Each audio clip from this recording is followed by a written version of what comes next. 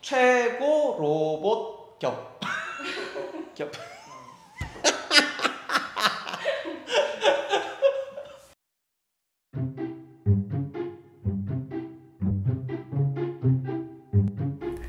안녕하세요. 숫자로 세상을 보는 헤일리입니다.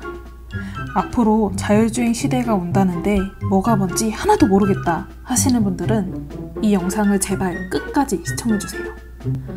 찾아가는 기업학기 첫 번째 자율주행 로봇 회사 트위니에 방문해서 특급 과외를 받고 왔습니다. 영상을 끝까지 보신다면 자율주행 기술에 대해서 이해가 많이 되실 거예요. 그럼 준비되셨나요? 네. 뭐 간단하게 설명할 수도 있고 복잡하게 수도 있는데 이번에는 간단하게 설명드리는 걸로.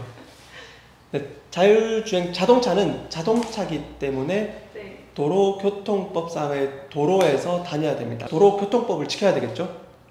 그렇기 때문에 우리 사람이 주행하는 것처럼 규칙들을 다 지키고 가야 됩니다. 즉, 근데 실내에서 다니는 로봇 같은 경우는 그럴 필요가 없잖아요. 실내 실외로 구분하는 데는 한계가 있는 것 같고 어, 사람이 타느냐 아니냐의 차이가 있는 것 같습니다. 제가 봤을 때요.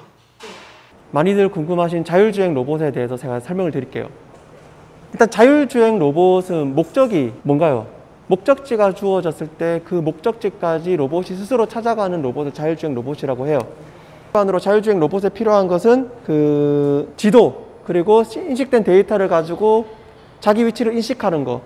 또 중요한 것이 처음에 목적지가 주어졌을 때 내가 어떤 경로를 따라서 목적지로 이동할 것이냐 길을 탐색하는 일이 필요합니다. path planning이라고 하는데 근데 지금 이 로봇처럼 이런 실내 공간에서 목적지까지 찾아가기 위해서는 그 건물의 구조를 알아야 되고 그 어느 방으로 거쳐가지고 어떻게 가서 이 목적지로 가야 되는지 알아야 되기 때문에 실내에 있는 지도가 필요해요. 그런데 지도를 모르잖아요.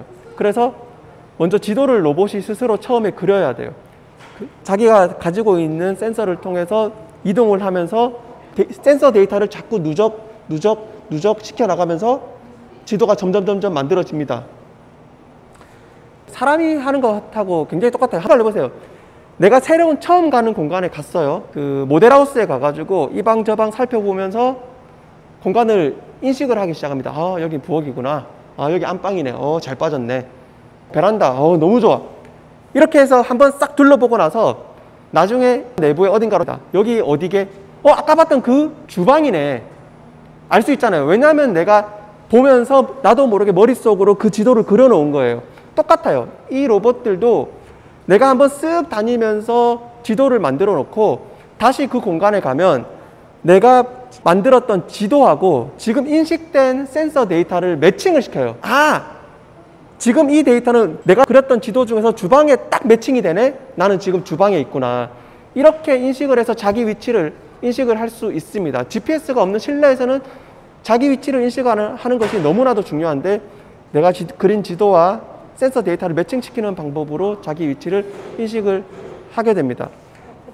어, 이 로봇의 메인 센서인 3D 라이다 센서입니다. 이 센서 같은 경우는 16개의 채널로 이루어져 있습니다. 16개의 채널이라는 것은 요 거리로 쭉 단면을 거리를 따다다다다다다다다다 인식을 하고 또 요 단면 따다다다다다다다다다 인식을 합니다. 그러면 두 줄의 거리가 다 인식이 되겠죠. 또 이렇게 다다다다다다 이게 16개의 층으로 거리 3, 360도를 다 인식을 합니다. 그 거리 데이터를 이미지로 딱 그려서 보면 점들이 막 여러 개가 생겨가지고 주변의 공간을 인식할 수 있어요. 이 3D 라이다 센서가 그래서 이 로봇의 눈의 역할을 하는 가장 중요한 센서가 됩니다. 그런데 실제로 얘가 활용되는 시간에는 사람도 있을 수 있고 다른 로봇도 있고 물류센터 같은 경우에는 뭐 박스가 이만큼 들어와서 어, 쌓여 있다가 빠지기도 하고 그러니까 인식된 센서 데이터가 내가 지도를 그렸을 때하고 완전 바뀌는 거예요. 그때도 인식을 할 수 있어야 되는데 보통 일반적으로는 깔끔한 상태에서 만들었던 지도하고 실시간으로 인식된 센서 데이터를 매칭을 못 시키는 거예요. 그래서 복잡하고 넓은 환경에서는 일반적으로 그런 식으로 활용을 하지 못하고 바닥에 QR코드를 붙여가지고 코드를 보면서 자기 위치를 인식을 한다거나 아니면 여기저기 신호를 발생시키는 비컨이나 UWB 장치를 설치를 한 다음에 3개 이상의 시- 신호를 받으면 삼각법이라는 것으로 자기 위치를 인식을 할 수가 있어요. 어, 3개 이상의 신호 딱 받아가지고 자기 위치 인식을 하는데 신호 정확도가 좀 부정확하면 위치 정확도가 떨어지겠죠. 많은 신호를 받을 수 있을수록 좋기 때문에 많은 인프라 구축이 필요해요.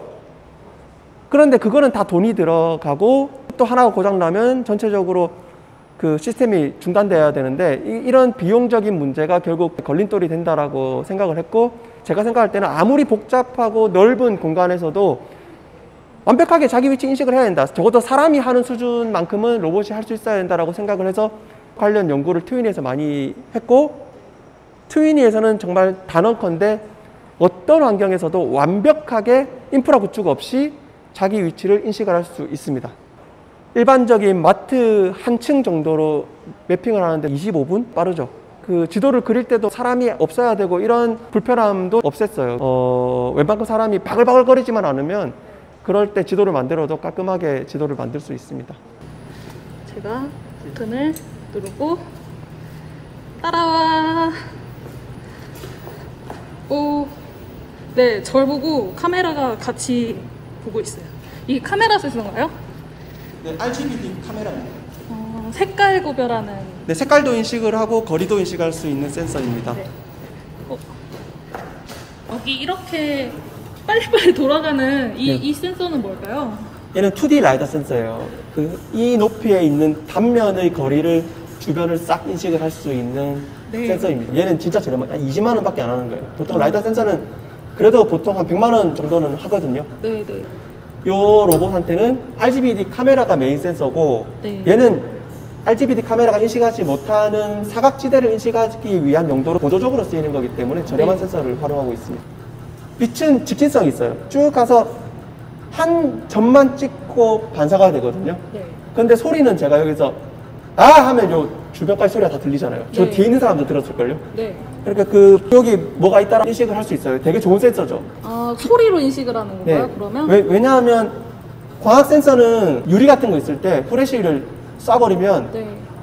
반사되어서 안 와요. 그게 투과해가지고 저 멀리 있는 것까지 나가버리는데 네. 그러면 유리로 된 장애물을 인식 못한다는 거죠. 음, 이초 음파세. 만약에 자율주행 하는데 유리 같은 투명한 장애물이 있다라고 하면 이 초음파 센서가 인식을 해서 이제 소리가 튕겨져 나오니까 인식을 하게 되는 건가요? 네, 요 센서는 되게 저렴한데 자동차에 후, 그 파킹할 때 후진 기어 딱 넣으면 다- 삐삐삐삐. 네, 삐삐삐삐삐 하는 거 있잖아요. 네네. 그 센서 그 주변에 달려 있는 그 센서인데 가격이 되게 세요. 이거는 막 네. 뭐 몇백 원, 뭐 천 원, 뭐 아. 이런 정도밖에 하나당 가격 그럼 어, 얘도. 삐삐 소리가 나나요? 아, 삐삐삐삐 소리를 하- 달면 재밌겠네요. 제가 네. 달아볼게요, 이거. 네. 사각지대가 완전 없어질 수는 없고 사각지대를 줄이기 위해서 센서를 이것저것 달아서 보완을 하는데 저 갖고 싶은데 얼마면 살 수 있을까요? 요, 요거 원래 2천만 원 정도 하는데 헤일리님한테 특별히 세일해서 드릴게요. 내고로 얼마까지 줄수 있을지. 1,500만 원 드리겠습니다. 아, 뭐 GPU 쓰고 이러면 가격이 점점 올라가기 때문에 연산을 최소한으로 하면서 높은 성능을 만드는 것이 중요했었고 그런 것에 신경을 많이 썼기 때문에 일반 PC에 들어가는 프로세서로 처리를 하고 있습니다. 네. 처음에 목적지가 주어졌을 때 실내 공간은 다양한 벽들로 구성이 되어 있기 때문에 내가 어떤 경로를 따라서 목적지로 이동할 것이냐 길을 탐색하는 일이 필요합니다. path planning이라고 하는데 사실은 우리가 굉장히 많이 만나볼 수 있는 기술이에요. 자동차 내비게이션에서 이용하는 거하고 로봇이 하는 거하고 같은 방식입니다. 심지어 게임에서 캐릭터들이 특정 목적지를 딱 찍으면 최단 거리로 이동을 하는 것을 볼 수 있는데 그때 그 캐릭터들이 이동하는 경로를 찾는 것도 똑같은 알고리즘으로 계산을 하게 됩니다. 그러면 이제 목- 목적지로 경로대로 가다 보면 충돌을 합니다. 왜냐하면 지도에 없는 장애물들이 있기 때문에 어떻게 장애물을 잘 피해가고 어떻게 그 경로를 또 잘 따라가는 거냐 하는 것이 그 많은 연구자들이 지금도 열심히 해 나가고 있는 분야입니다. 이 로봇으로 하는 실험은 장애물이 나타났을 때 어, 유연하게 효과적으로 피하고 다른 길을 찾고 하는 실험들을 많이 하고 있습니다. 물류센터 외에 어, 마트, 병원이나 공항이라든지 이런 곳에서는 장애물 있다고 멈추는 것보다는 사람처럼 유연하게 피해가는 것을 더 선호하거든요. 그런 실험들을 하기 위해서 이 로봇을 활용하고 있습니다. 제가 있으니까 이제 바로 저- 약간 방향을 틀어가지고 이동을 하는데요. 제가 얘를 방해를 막 해볼게요. 적절하게 방향을 찾아가지고 피해서 갑니다. 같이 최영수 대표랑 같이 한번 방해를 해보겠습니다.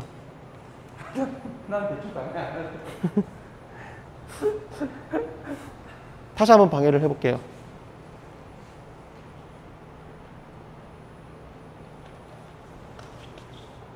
상황에 맞게 그- 뭐 피해서 뭐 공간이 필요할 때는 뒤로도 갔다가 뭐 아니면 바로 피할 수 있을 때는 바로 그냥 그 뒤에도 공간이 있는지 보고 내가 피할 공간이 부족하다 그러면 자꾸 붙으니까 공간이 없으니까 후진을 하는 거예요. 네, 뭐 어떤 센서가 더 좋은지 비교도 해보고 어떤 목적으로 어떤 센서를 어떻게 활용할지를 저희가 계속 고민을 하는 거예요. 일반으로 자율주행 로봇에 필요한 것은 지도 그리고 인식된 데이터를 가지고 자기 위치를 인식하는 거. 또 중요한 것이 내가 어떤 경로를 따라서 목적지로 이동할 것이냐. 물어보는 거 대답하라고. 나한테 대답 딴거 물어볼 거니까. 진짜 웃긴다. 자기한테 물어봤는데 아 그거는 내가 생각하는 게 아니에요. 30 이상이 카이스트에서 석박사 학위를 이게 가장 빨리 저희가 새롭게 선보이는 시스템이고요. 그 기술력으로는 국내에서는 트위니가 독보적이라고 생각하고 어, 자율주행 로봇을 하기 위해서 반드시 필요한 그런 환경을 제공해주는 페이스북 갈래 트위니 갈래. 정말 좋은 생각입니다. 그거는 제가 즉각적으로 반영하도록 하겠습니다